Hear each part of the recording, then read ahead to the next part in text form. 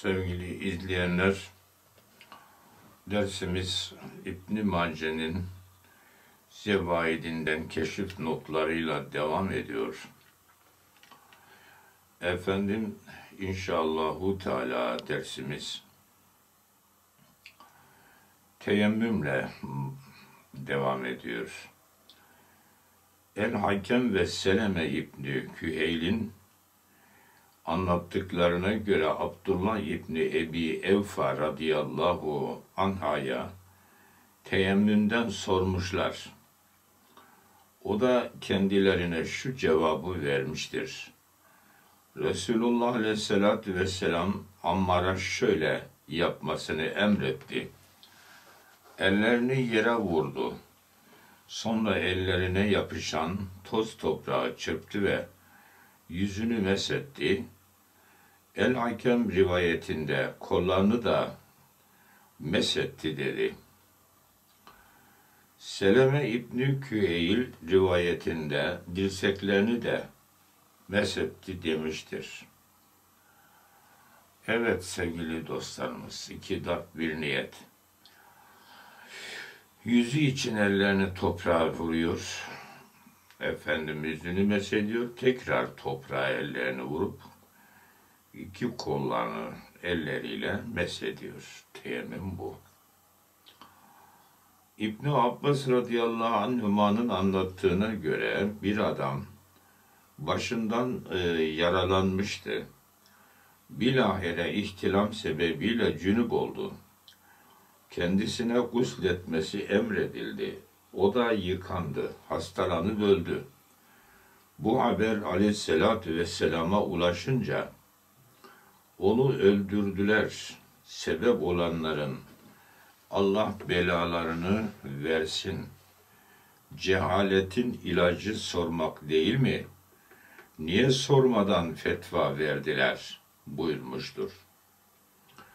Ata der ki bize an ulaştığına göre Resulullah Aleyhisselatü Vesselam keşke bedenini yıkayıp başının yaralı yerini bıraksaymış buyurmuştur. Yani yaralı yere su değdirmeselerdi diyor Peygamberimiz. Bu hadis başka bir veçiyle daha önce geçtiği için biz bunlara burada kısaca değinip geçiyoruz. Bunlar hem daha önceki hadis-i şerifler külliyatında geçti hem de amelde fıkıh bölümünde geçti bunlar. Efendim cünüp uyunur mu konusunda da Efendim Ebu Saidül Hudri radıyallahu anh'ı anlattığına göre kendisi geceleyin cünüp olur, o halde uyumak ister. Resulullah aleyhissalatü vesselam ise ona abdest alıp öyle uyumasını emreder. Cumhur bu emri nedbe hamletmiştir. Yani mendup demiştir. Efendim e, yıkanırken cünüp insanların yıkandığı zaman her kılın dibinde efendim cünüplük olduğunu hatırlatıyor. Hazreti Ebu Eyyub radıyallahu anh anlatıyor. Resulullah aleyhissalatü vesselam buyurdular ki, beş vakit namaz, cuma namazına kadar, cuma namazı emanetin edası, arada cereyan eden küçük günahlara kefarettir. Efendim, e, ben emanetin edası nedir dedim. Cenabetten kusüldür. Zira her kılın dibinde yıkanması gereken cenabetlik vardır buyurdular. Evet sevgili dostlarımız. Kadın ihtilam olur mu konusunda da efendim Havle bintu Hakim radıyallahu anhanın anlattığına göre Resulullah aleyhissalatü vesselama rüyasında erkeğin gördüğü şey gören kadının hükmünü sormuş. Aleyhissalatü vesselam kendisine inzal vaki olmadıkça gusül gerekmez. Tıpkı inzal olmadıkça erkeğe de gusül gerekmediği gibi şeklinde cevap vermiştir. Amir İbni Şuayb an ebihi an ceddihi radıyallahu anhüma verdam ecmain anlatıyor. Resulullah aleyhissalatü vesselam buyurdular ki, iki hitan sünnet mahalli birbirine kavuştu. Erkek uzvunun baş kısmı kayboldu mu gusül vacip olur. İnzal şart değildir buyurdular. Bu da e, başka bir cünüp olma şeklidir. İbni Mesud radıyallahu anh'ı anlatıyor. Resulullah aleyhissalatü vesselam buyurdular ki, Sizden kimse açık arazide veya kendisini örtmeyen bir adam bir dam üstünde gusül yapmasın. O kimseyi görmese de kendisi ruhaniler tarafından görülmektedir. Evet, abdestte sıkışan namaz kılmasın. Ee, burada da abdesti sıkışmışsa bir insanın Ümmü e, Ebu Ümame radıyallahu anh anlatıyor Resulullah aleyhissalatü vesselam abdest bozma hususunda darlanan kimseye abdestini bozmadan namaz kılmayı yasakladı. Git işini bitir, abdestini al, ondan sonra namaz kıl. Ebu e, Hüreyre radıyallahu anh anlatıyor. Resulullah aleyhissalatü vesselam buyurdular ki, sizden kimse abdest bozma sıkıntısı varken namaza durmasın. Ee, evet sevgili dostlarımız, da bu konularla ilgili daha önceki derslerimizde geçti. Efendim Ümmü Seleme radıyallahu anha anlatıyor.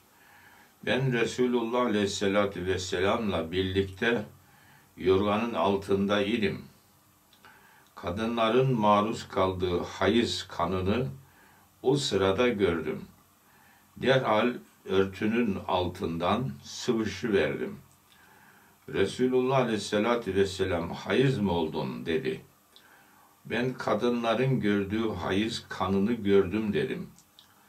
Aleyhissalatü vesselam bu Allah Teala Hazretlerinin Hazreti Adem'in kızlarına yazdığı bir kaderdir buyurdular. Ümmü Seleme sözlerine şöyle devam eder. Ee, ben yatarken yataktan sıvışıp yapılması gerekenleri yaparak kendime çeki düzen vererek geri döndüm. Resulullah Aleyhisselatü Vesselam bana gel benimle birlikte yatağa gir dedi. Ben de yanına girdim. Evet, e, yani Yahudilerde hayızlı kadın adet gördüğü müddetçe ne yatakta ne de yemekte kocasıyla beraber olmamaktadır. İslam'da ise bu ayrılık kaldırılmıştır.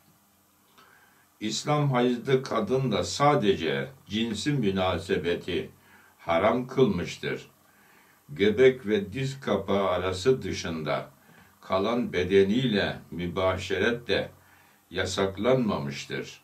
Müteakip hadis bu hususu daha da aç açacaktır.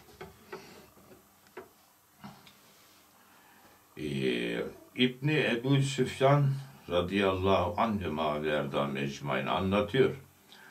Ben Resulullah aleyhissalatü vesselamın zevcesi, muhteremleri olan Ümmü Habibe radıyallahu anhaya hayız olduğunuz zaman Resulullah Aleyhisselatü Vesselam'la münasebetiniz nasıl olurdu diye sordum.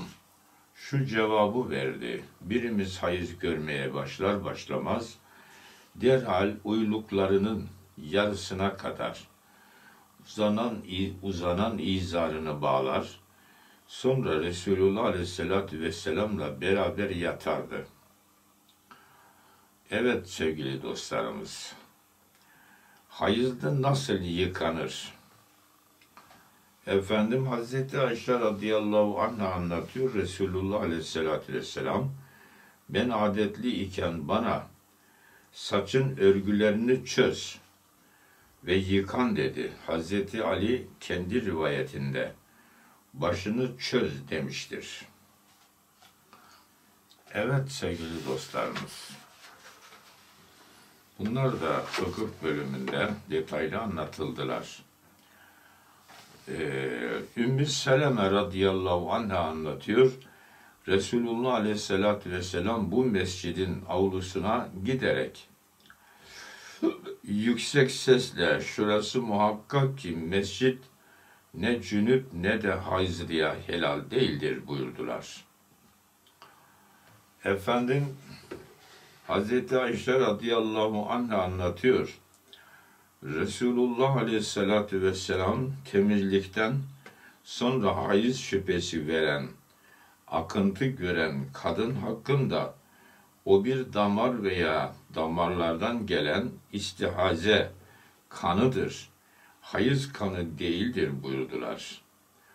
Muhammed İbni Yahya dedi ki temizlikten sonra tabiriyle hayız devri bitip yıkandıktan sonra demek istenmiştir diyor.